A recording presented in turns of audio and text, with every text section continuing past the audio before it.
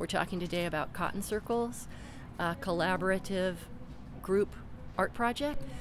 The chief artist involved uh, in organizing this project is Margarita Cabrera. She is a conceptual artist who works with ideas and concepts, uh, especially having to do with people living on both sides of the U.S. Mexican border and issue, issues of uh, immigration and immigration rights, and also labor issues. Uh, when uh, when Margarita was invited to work here in Fresno, uh, she came out to visit and decided that she wanted to do a project having to do with cotton because Fresno is in the middle of such a big agricultural area and because uh, Fresno, uh, one of the main crops grown around Fresno historically has been cotton. And she also uh, found a link between cotton production here in Fresno and a region of Oaxaca that she visited where um, people work with cotton to produce hand woven uh, garments and other items made on traditional backstrap looms.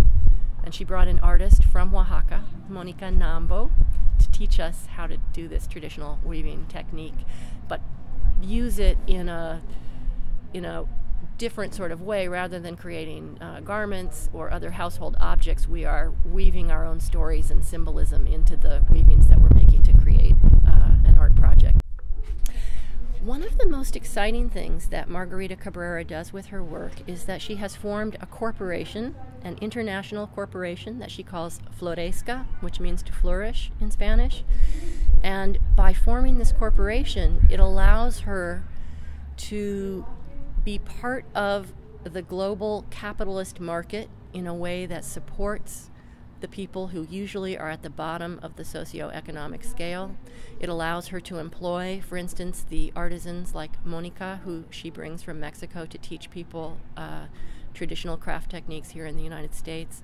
And uh, eventually, it will allow uh, volunteers who work with her also to own stock in the corporation, and so they can get um, financial benefits from the work that they do as the artwork gets sold over time. So it's a really creative way of um, addressing um, the business world as well as the art world through this artwork. They will be on display during the whole month of November in the Madden Library in the Ellipse Gallery, um, finished or unfinished.